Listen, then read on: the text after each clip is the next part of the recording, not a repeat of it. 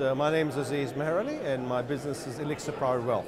So it's, it's the full gamut of financial planning. So um, we look after high and ultra high net worth clients. Uh, the service proposition is a big part of what we do. So we act as a sounding board for our clients. So you know, our clients generally, obviously, we give advice on investments, super gearing, option strategies, etc. But the idea is the client can pick up the phone and give us a ring to talk about anything. So we're a sounding board for them to talk about, you know, whether they're buying the next board, whether they should be doing it or not, or, you know, we've even gone ring shopping with clients for their engagements. Um, so we're really there for our clients for really anything that they need.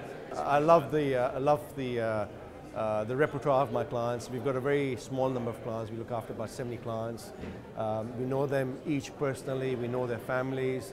Uh, and they're almost friends. That, you know, yes, we have the responsibility to look after them, but with a lot of our clients, we go out together, we socialize, and I really enjoy that.